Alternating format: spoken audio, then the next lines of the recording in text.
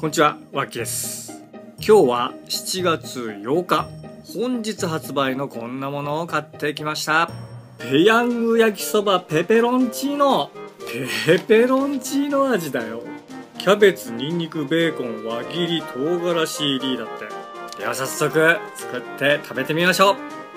ズベビ。ペヤングと言ったらズベビの人だよね。まあ普通の焼きそばと同じようにお湯を入れて3分待つ感じですね。焼きそばソースって書いてあるけど焼きそばじゃないよね。どう見ても色がね。それとこれが火薬。あとは麺ですね。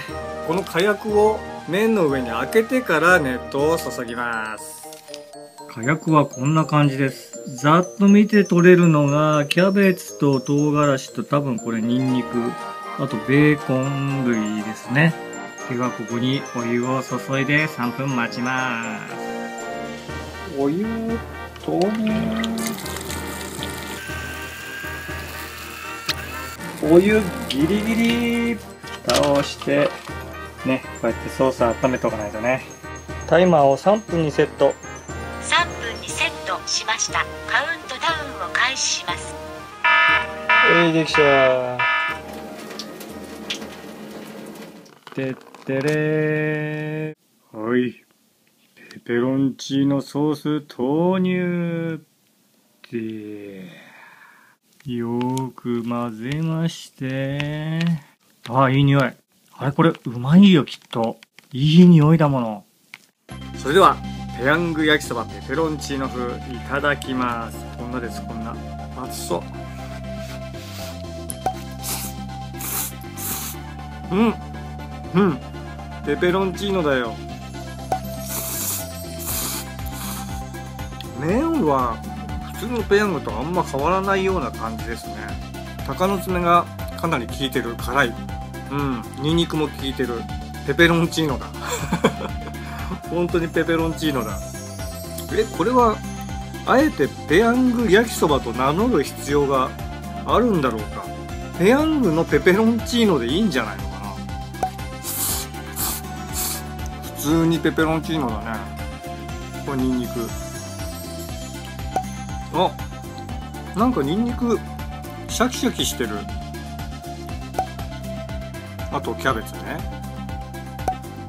これはあれだね。ヤングのキャベツと同じような感じだね。あとねベーコンがどっかにいるはずなんだよね。ベーコンどこ行っちゃったかな。あーいたいたいたいたいた。これベーコンだねベーコン。ベーコンちっちゃいなちょっとな。この鷹の爪はひょっとしたら避けた方がいいのかもしれない。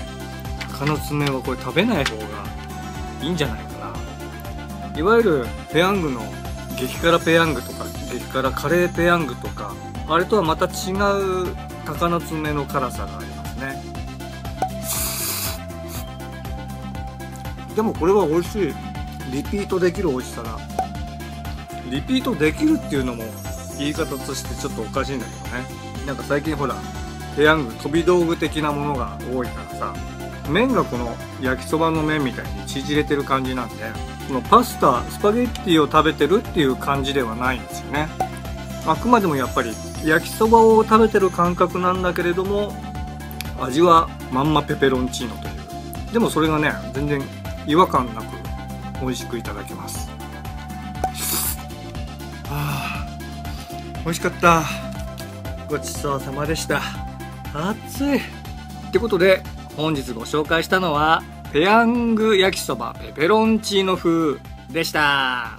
麺は焼きそばだけど味はペペロンチーノという不思議な食べ物でした。でも美味しかった。